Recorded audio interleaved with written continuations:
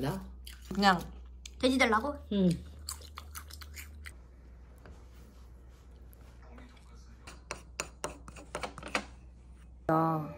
이무새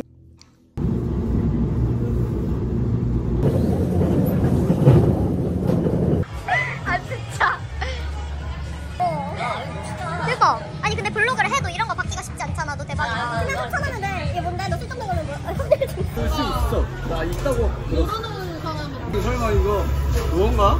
광고하는 무슨 일이 있을까? 그걸로 된 거야. 마다하지 않지.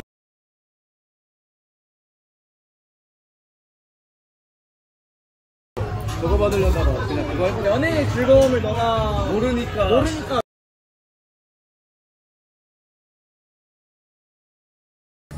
짠. 아 근데 세원이 보고 싶긴 하네. 어 맞아. 근데 여기는 왜 간판이 없어? 아 여기 있다. 많이 취했네. 그니까 여기 가보자. 좋아 보이지 않아? 얘네 찍어야 되는 거 아니야? 쟤네? 길 건넜어. 우리 빨간불에 길 건넜고 우리 안 건너자.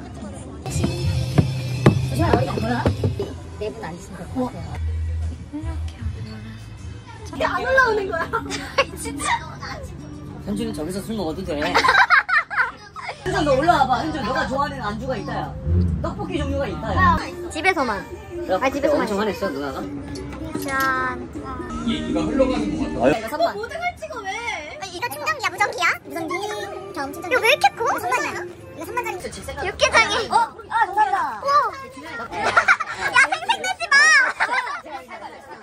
독서실 독서실에 이성을 대할 때 입이 꼬이나? 약간 이런 느낌으로. 그런 고급정 보는 데가 또 유출을 안 해. 그 스윗 가위바위보. 가위. 야 이거 쓰라고? 그럼 다시 한번 생각할 시간. 야, 너 메로우나 좀 모아줄래? 이거 뭐 되죠?